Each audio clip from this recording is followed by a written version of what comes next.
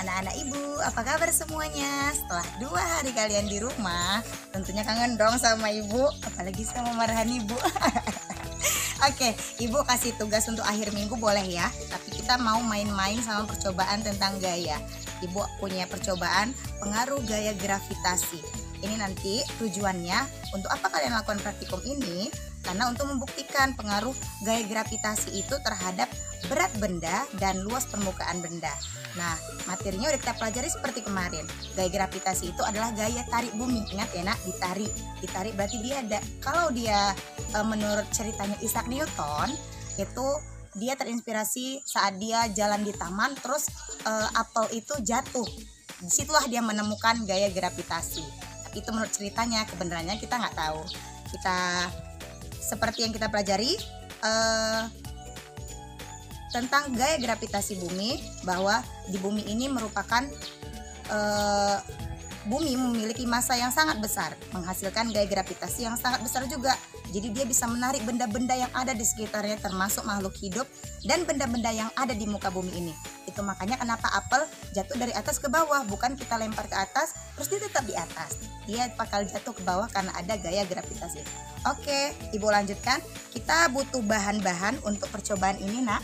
Yang pertama itu stopwatch pastinya kalian gunakan di handphone aja. Ibu di sini nanti dibantu Bu Fadila.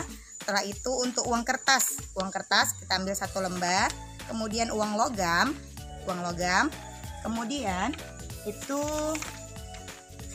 kertas HPS, ibu ambil yang bekas. Ukurannya harus sama ya nak, kertas HPS dua buah atau dua lembar. Oke, percobaannya adalah yang pertama kita mau lihat waktunya, kita catat waktunya. Untuk yang pertama itu pengaruhnya terhadap berat benda. Iya. Kalian lihat, ibu akan menjatuhkan di sini uang logam dan uang kertas ya di sini di uh, ketinggian kita buat yang pertama 2 meter. Ibu jatuhkan di di tinggi yang sama. Oke okay, dan Bu Padila akan memencet stopwatchnya. Satu dua tiga. Oke. Ya kemudian untuk di arah yang untuk di jarak yang satu meter ibu jatuhkan dari sini. Satu dua eh. tiga. Oke Nanti yang ada di stopwatch waktunya kalian catatkan di lembar pengamatan kalian. Sini.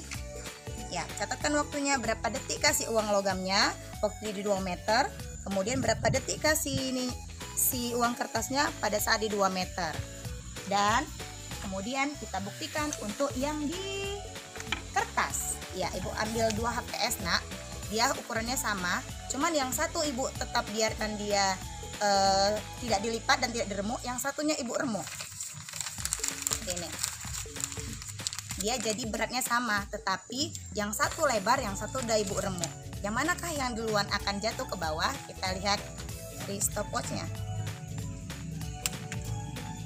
Oke untuk yang di 2 meter kemudian sekali lagi yang di 1 meter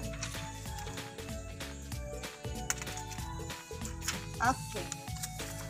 Kalau lihat video ibu, seharusnya udah tahu dong kesimpulannya. Ibu buat pertanyaan di lembar kegiatan kalian.